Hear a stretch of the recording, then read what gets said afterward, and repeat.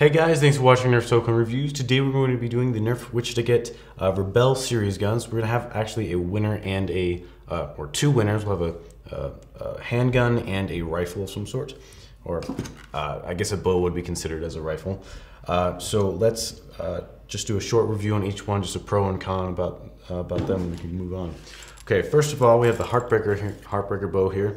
Uh, I'd say the big pro about this is it has this ammo attachment here. I might, if this gun was really cheap, I would buy this gun just for the ammo attachment because it's really useful. Uh, this gun, it does have the fake action on it, so it's kind of a cons for that. And it uh, sometimes you don't really know how far you're pulling this back. Uh, and it doesn't seem to be that effective in a battle for sure. Um, the next we have the Sweet Revenge here. Uh, this comes with a holster and a goggles if you have it in the kit. Uh, that's a big pro to it. Uh, it does have uh, some really fast firing. You can do it with one hand because it has the hammer on it, which is really nice. Uh, for the cons of this gun though, uh, the gun sometimes will slip out of the holster. If you, I don't know, if you run around, it will just slip out, just kind of annoying because it's it only is being held in by the the indent of the railing there. So it's not much to keep it in. Uh, next we have the Guardian crossbow here. The pro and cons of this is this gun has uh, some decent range, or actually I, I meant to say accuracy. It has good accuracy, but the range isn't that good. Uh, but it does have the shotgun pump though, which is a really nice. I mean, any gun that has a shotgun pump is normally pretty effective in battle. Uh, the cons for this is that you sometimes can't shoot fast because uh, well, there's not really um, slam fire in it or anything. So if you try and shoot fast and you have like the trigger pull too quickly, sometimes it does it screws up when you're priming it.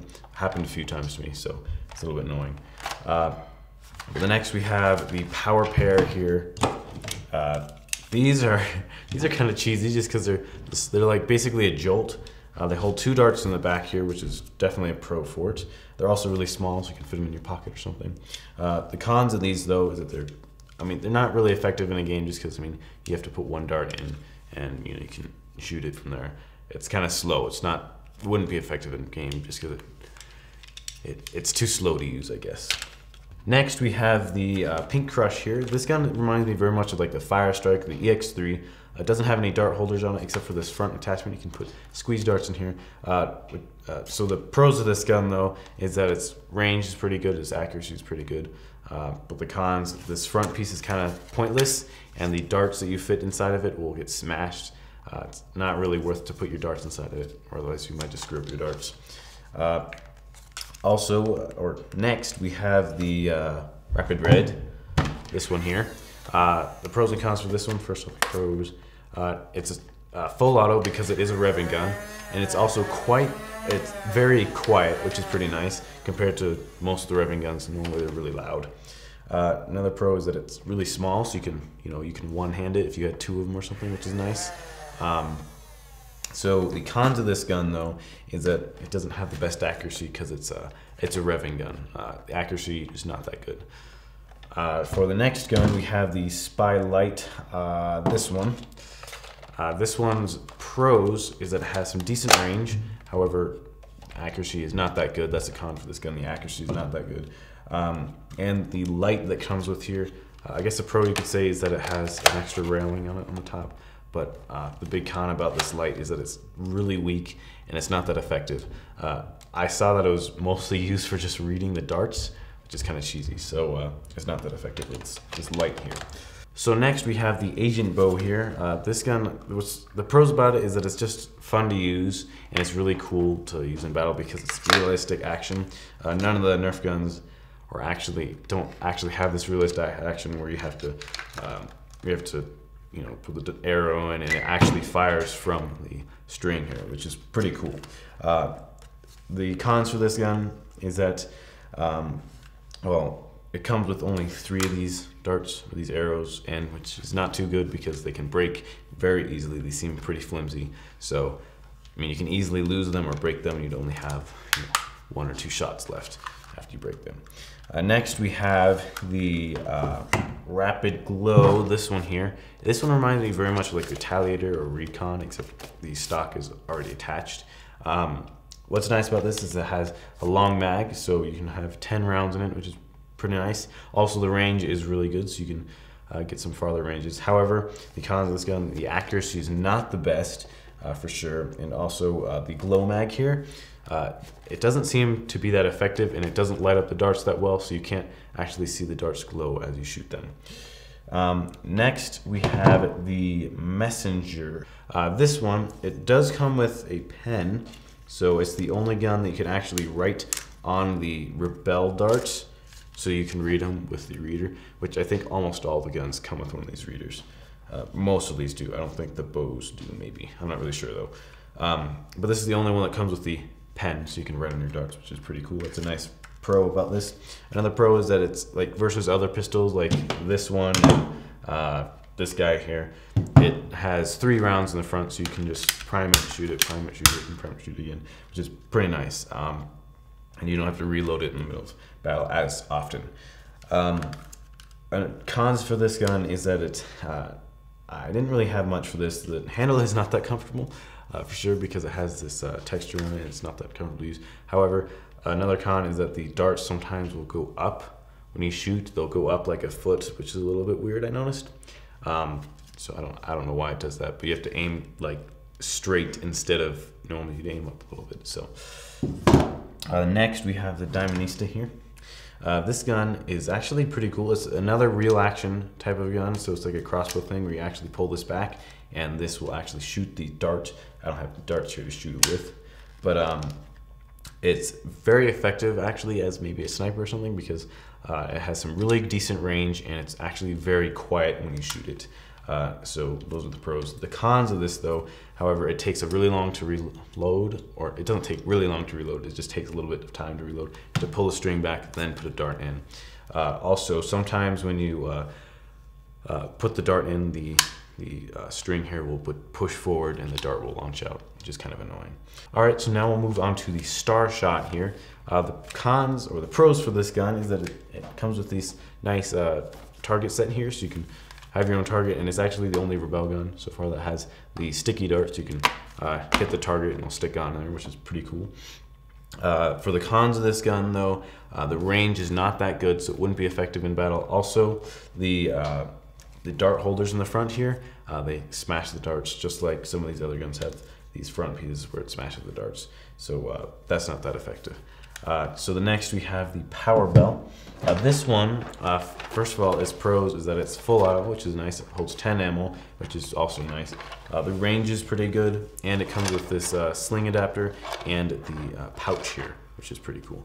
So for the cons of this gun, this gun does not have the greatest accuracy. That the darts kind of don't go where you want them to go. They shoot way off to the side. also, it takes about a second or two for the gun to shoot.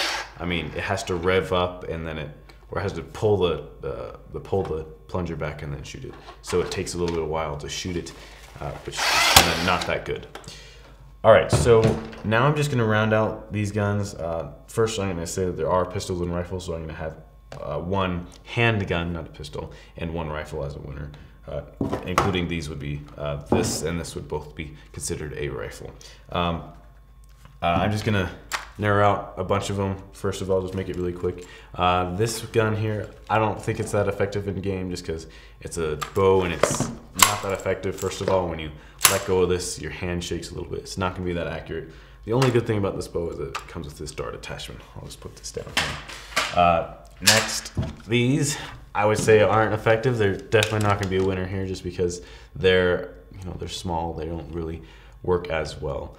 So these are pretty easy to round out. Uh, also, the Diamondista here, this one is actually pretty slow uh, compared to some of the pistols. Uh, like this one has three shots, this one has six shots to shoot. This one, you have to load it and prime it, or prime it then load it, and it just doesn't work that well. All right, so now the star shot is not that effective either because, uh, well, first of all, the laser is really weak and uh, its, uh, its range is not that good. It's really just meant for target practice. Uh, next, uh, I'd say the uh, this one here. Ooh, I forgot the name. Uh, this one is called the Pink Crush. Um, it's not that effective because you have to load it and shoot it again. It's you can't. You know, I think that its, its range is really good, but it's uh, not as effective as this pistol here. So move down to this one.